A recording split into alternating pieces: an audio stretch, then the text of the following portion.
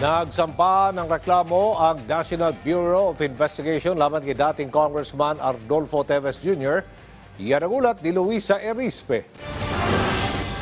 Panibagong reklamo na naman ang kinakaharap ngayon ni dating Congressman Arnolfo Teves Jr. sa Department of Justice. Ito ay financing terrorism at providing material to support terrorists. Ang National Bureau of Investigation ang naghain ng mga reklamo. Pero ayon sa DOJ, bunga ito ng pagbusisi ng Anti-Money Laundering Council sa mga bank records at transaction ni Teves dahil tinuring na siya na isang terorista. Nakikita naman ng DOJ, mas pinalakas nito ang patunay na dapat lang matawag na terorista si Teves at ang kanyang grupo.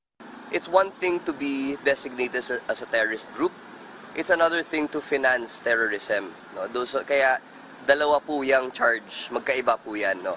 And the fact na sinundan po natin ang pera, the panel of prosecutors have seen and uh, built up a case of terrorist financing means na meron talagang links.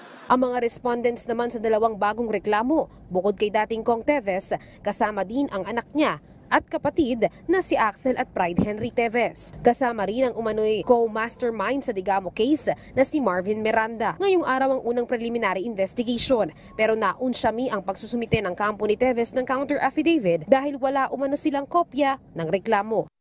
So, hindi po tayo makakagawa ng counter affidavit o kung anong dapat nating isumite kung siyempre wala tayong kopya or yung iba ay hindi po nila mabasa yung kanilang uh, CP. Sa December 19 ang susunod na pagdinig sa mga panibagong reklamo. Samantala ayon naman sa DOJ, hanggang sa ngayon, naniniwala silang nasa Timor-Leste pa rin si Teves at humihingi pa rin ito na malagay sa asylum. Nagsumiti na ang DOJ ng hiling na magkaroon ng red notice si Teves sa International Police para mahuli at mapauwi siya sa Pilipinas para harapin ang mga kaso laban sa kanya. Yung application for Interpol has already started. No, I have yet to get the official feedback whether he's on the red list already.